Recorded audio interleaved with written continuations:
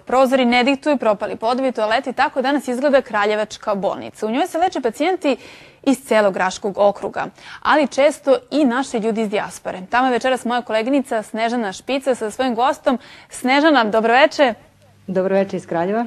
Šta je u ovom trenutku, Snežana, najpotrebnije bolnici u Kraljevu?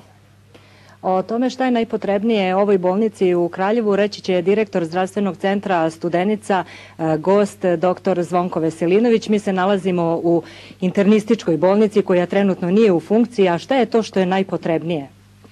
Najpre dobroveče i najpre jedan veliki pozdrav i za mene najlepšeg grada na svetu iz Kraljeva. Nažalost, ovog trenutka se nalazimo u jednom ružnom ambijentu, ali ono što je nama najpotrebnije u ovom momentu to su ultrazvučni aparati, e, to su neka, neka oprema za transfuziju tipa moćnih centrifuga, e, jako su neophodna instrumentari, opšti instrumentari za hirušku salu i da više ne nabrajam ima toga, može se pomoći u svakom slučaju. E, najbitnije je trenutno da ste obezbedili sredstva za sanaciju ove internističke bolnice koja zaista izgleda, evo vidi se, ruinirana je skroz. Kada će početi radovi i koliko brzo očekujete da ćete moći da se vratite u ovaj prostor? Pa posle puno vremena e, kada je u gradu Maltene sve na neki način sređeno i regulisano, a internistička bolnica nije ni do, do započeta, Ministarstvo zdravlja i, i vlada su prepoznali problem i u budžetu smo za ovu godinu. Znači, rekonstrukcija, ja se nadam, e, trenutno je papirologija u pitanju. Postoje zakonske neke procedure, to će trajati najmanje još dva meseca. Ako sve bude u redu, uhvatit ćemo, kako ja kažem, grazivinsku sezonu i na vreme krenuti da rekonstruišemo ovu zgradu. Koliko će to da traje? Pa, e, ja sad to već lajički očekujem do kraja ove godine, eventualno neki mesec u sledećoj. S obzirom na to da ovom području, ovoj vašoj bolnici se leči oko 300.000 stanovnika Raškog okruga, koliko ste vi sada, odnosno koliko su pacijenti uskraćeni u kvalitetu pružanja usluga i da li vi to uspevate da nadomestite, da li imate razumevanje od strane pacijenata i kako prevazilazite taj nedostatak od 220 kreveta? Pa to je ne samo 220 kreveta, to je 5.500 kvadrata ko, kojih nemamo. Znači velike površine su i radni prostori.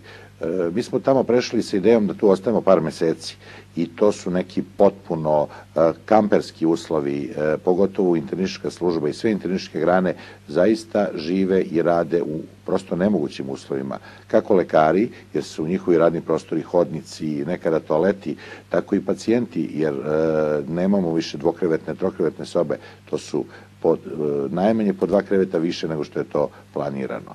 To je jedan problem, znači pre svega se osjeća taj problem na komforu, osjeća se na, na, na kraju na radnom elanu, prosto je jako teško preskakati krevete i, i baviti se poslom koji se mi bavimo, ali s druge strane e, mislim da ni u kom slučaju ne utiče na kvalitet lečenja. To mora da bude tako kako jeste. Da li sve operacije su na vreme koje zakažete, hitne intervencije, tu nema nikakvih zastoja, nadam se? Tu nema nikakvih zastoja, operacijni blok je u potpuno jednom korektnom stanju i hiruške grane su, imamo dovoljno kreveta, tako da tu nema nikakvih korekcija. Dužine, liste čekanja, čak ni u diagnostici se ništa tu nije izmenilo. Mi smo e, ovih 5.500 kvadrata stojički izneli nedostatak tih 5.500 kvadrata na komforu, kako zaposlenih, tako nažalost i pacijenata. E, imate li razumevanja od strane pacijenata?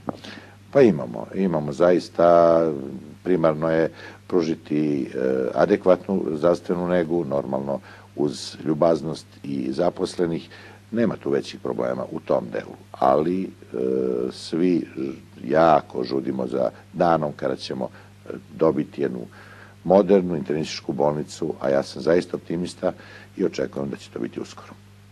Verujemo da će se ti vaši planovi ostvariti, da će bolnica biti završena, a samo da kažem Ivana da je ova internistička bolnica inače renovirana 2000. godine, ali da će evo sada posle 12 godina zbog zemljotresa morati da pretrpi još jednu sanaciju.